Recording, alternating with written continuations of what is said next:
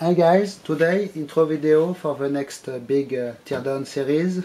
This is one of my uh, biggest uh, Soviet electronics uh, item on the Soviet avionics. So it seems it is the brains of a Sirena electronic countermeasure system or at least one uh, important module.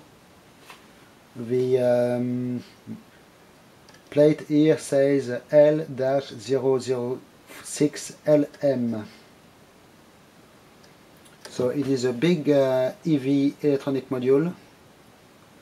What do we have? On the front here we have uh, all the, the panel with all the plugs. Some of them are covered because they are for maintenance probably. We have some coax and we have a lot of multi-pin uh, plugs. We have uh, potentiometers here covered also and sealed. This is an, another plug. Here this label says program number 5.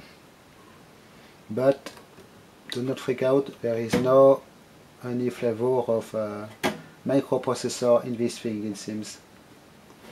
So on the left side here we have a bunch of uh, modules which are called in Russian cassetta.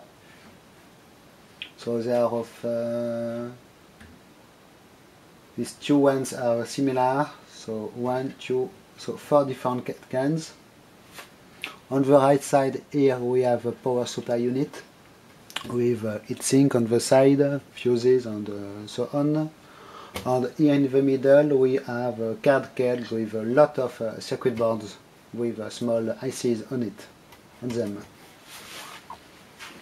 So I will turn it around for you. So here is the power, well, my autofocus is quite messed up.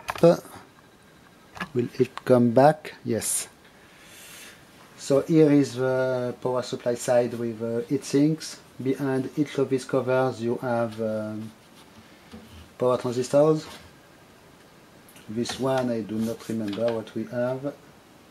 And you can see uh, screws here and uh, here just to remove the screws and the module will lift uh, right uh, off. On this side just uh, back of the modules and, uh, and some kind of an handle to carry the, the thing. And on the bottom side we have a big uh, cover.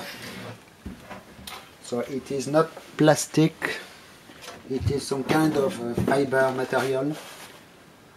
And in fact uh, it covers all the wiring uh, between the modules.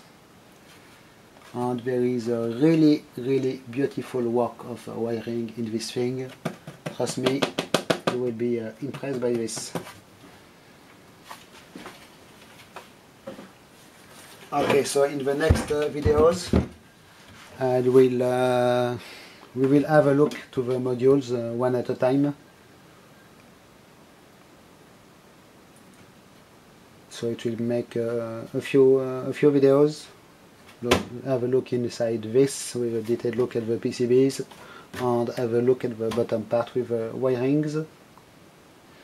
So first uh, thing I guess will be to remove these uh, modules.